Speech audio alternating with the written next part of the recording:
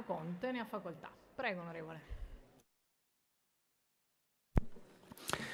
È un momento cruciale per eh, l'Europa, ma oggi abbiamo una consapevolezza molto amara. La discussione che farete in Consiglio europeo non cambierà marcia, non cambierà visione all'Europa. Presidente Meloni, noi non la invidiamo perché da una parte è tentata di offrire i suoi voti per appoggiare la nuova Commissione, per negoziare in cambio un importante incarico per l'Italia, venendo proprio a patti con quel centro-sinistra che voi dite di voler contrastare in tutti i modi. In alternativa proverete per una volta forse a rimanere coerenti davanti ai vostri elettori, ma ininfluenti nel nuovo governo europeo, con grave danno per l'Italia.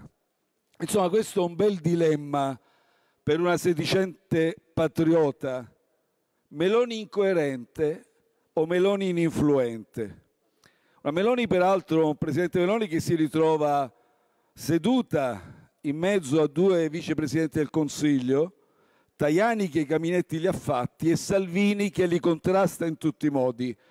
Non so con quale capacità di dialogo riuscite a parlarvi. Noi, allora mi permetto un consiglio, Presidente Meloni. Noi ormai l'abbiamo vista insieme a tutti gli italiani cambiare idea un po' su tutto, dalle misure sulla benzina, i blocchi navali, nuove tasse su casa, famiglie. Quindi direi che ormai nessuno si stupirebbe di una nuova clamorosa incoerenza. E allora conviene sacrificare ancora una volta la coerenza e andare in Europa. Presidente Meloni, vada in Europa con forza, determinazione, vada a prendersi un posto di prestigio in Commissione europea perché questo spetta di diritto all'Italia che è un paese fondatore, la terza economia europea. Magari questa volta, visto che si tratta di un incarico di prestigio, non affidiamolo a un parente, non affidiamolo a un sodale di partito solo perché è fedele, affidiamolo a una persona competente. Per una volta applichiamo quel principio di meritocrazia che l'abbiamo sentita declamare a parole così tante volte. Noi cinque anni fa in Europa siamo andati col voto decisivo del Movimento 5 Stelle, abbiamo ottenuto ruoli di peso per l'Italia. Abbiamo portato 209 miliardi che è l'unica risorsa oggi sul tavolo del vostro governo. Ma poi dico, Presidente Meloni, mi interrogo, perché tutto questo timore di fare accordi col centro-sinistra europeo? Negli ultimi due anni questi accordi li avete già fatti. Scusi Presidente Meloni, non è lei che ha sottoscritto il patto di stabilità frutto dell'accordo tra Macron e Scholz? A causa di questa sua firma rischiamo di non poter diminuire le tasse in busta paga per aumentare lo stipendio netto dei lavoratori. Probabilmente arriveranno nuove tasse. A causa di questa firma non potremo investire in sanità, non potremo aiutare le famiglie italiane di fronte agli aumenti di mutui e di bollette.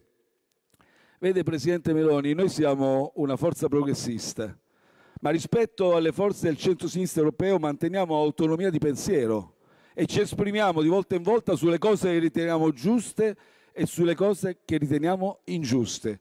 E anche per questa ragione che mi sono dichiarato già, e lo dico anche oggi, deluso dagli ultimi due anni dell'azione politica della Commissione von der Leyen. Noi a quel patto di stabilità abbiamo detto no, anche a costo di essere gli unici tra le principali delegazioni italiane. Come abbiamo detto no al contrario del vostro governo al piano europeo su immigrazione e asilo che danneggia i paesi come l'Italia di primo approdo perché rende le procedure di registrazione dei migranti più farraginose e certo non offre un reale ed efficiente meccanismo di ricollocazione dei migranti tra i vari paesi europei. Sono due anni, Presidente Meloni, che leva in giro a vantare un fantomatico piano Mattei, vuoto di contenuti e privo di risorse. Di certo qui abbiamo registrato il flop dell'accordo tunisino e registriamo quasi un miliardo di investimenti che volete destinare a due centri in Albania in cui ospiteremo qualche centinaio di migranti che poi dovremo portare in Italia. Presidente Meloni, lei ha contestato ieri, abbiamo visto tutti, alle opposizioni di usare toni da guerra civile. È il caso di smetterla con questo finto vittimismo. La guerra civile l'avete scatenata voi, parlamentari di maggioranza, in quest'Aula, aggredendo il nostro Leonardo Donno con un pestaggio in piena regola. E la cosa più grave è che abbiamo un Presidente del Consiglio che non ha avvertito la responsabilità, la dignità politica di condannare questa vile aggressione. Anche oggi ha perso questa occasione.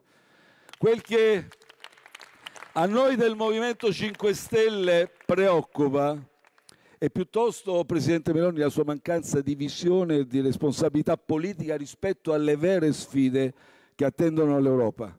Noi abbiamo un'idea di Europa completamente diversa da quella a cui voi vi siete accodati negli ultimi due anni.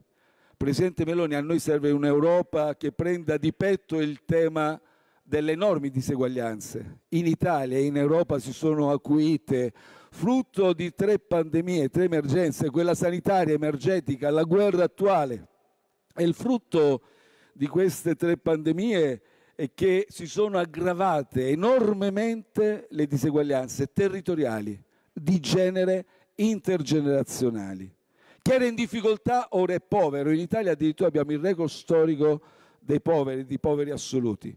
Chi apparteneva al ceto medio oggi ha difficoltà ad arrivare a fine mese, persino il nostro sistema produttivo arranca, le imprese è da 14 mesi che vedono calare la produzione industriale su base annua.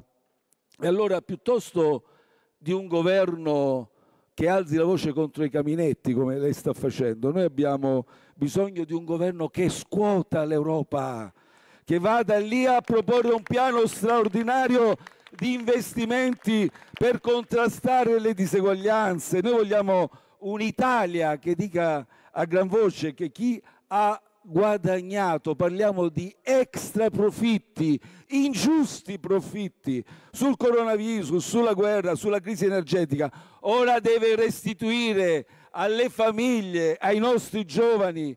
E questa nostra battaglia per un'Italia, per un'Europa più equa, più sociale, che aiuti ad esempio le giovani coppie che vogliono casa, che si faccia sentire per cambiare un sistema in cui troppi lavoratori sono ancora sottopagati, sfruttati, addirittura scaricati davanti casa con un braccio mozzato come fossero un sacco di immondizia. Invece di pensare di portare anche in Europa queste proposte, Presidente Meloni, lei ci propone riforme che quelle diseguaglianze le renderanno ancora più acute le renderanno eterne. L'autonomia differenziata sarà una condanna a morte per la sanità, i trasporti e l'istruzione di tante regioni italiane che già oggi arrancano. Con l'autonomia spacca Italia, lei sta firmando la secessione, realizza i sogni di Bossi e calpesta il tricolore. La nostra visione dell'Europa ci impone di dire basta rispetto a un'altra sfida. La corsa al riarmo, basta l'escalation delle guerre. Torniamo padroni del nostro destino, Presidente Meloni. Anche sulla guerra in Ucraina, lei si è unita al centro-sinistra europeo, Partito Socialista, Verdi Europei, senza portare nessuna proposta dell'Italia, cancellando in questi due anni quella che è l'enorme bagaglio, l'enorme ricchezza dell'Italia, tradizione di dialogo, capacità diplomatica che ha sempre espresso. L'unica proposta partorita dal suo governo è quella del suo cognato Lollobrigida, una bella cena e buon vino per porre fine alle guerre.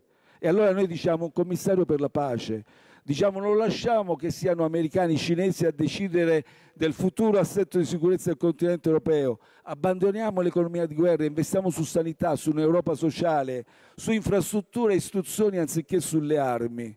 Al G7 avevamo un'occasione storica, nessuna svolta sulla strategia di guerra.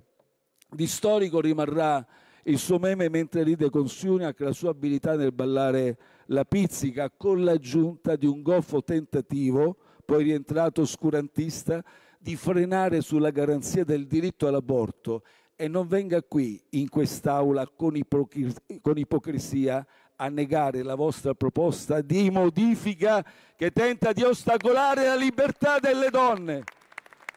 Non abbiamo nessuna iniziativa risoluta per Gaza dopo nove mesi. Dobbiamo guardare in faccia, la scioccante realtà è quell'orrore, 40.000 morti ormai. Occorre più forti, occorrono le più forti pressioni sul governo di Israele per il cessate il fuoco. Dobbiamo, riconos- concludo, riconoscere la Palestina, pretendere l'apertura immediata di corridoi umanitari. Allora, nell'annunciare il voto contrario, faccio un ultimo appello a recuperare, Presidente Meloni, la credibilità, l'immagine dell'Italia. Il tricolore imparate ad amarlo davvero, non a sventolarlo nelle dirette social.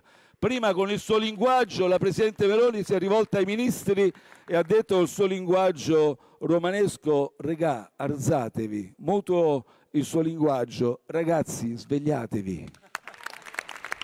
Grazie, onorevole.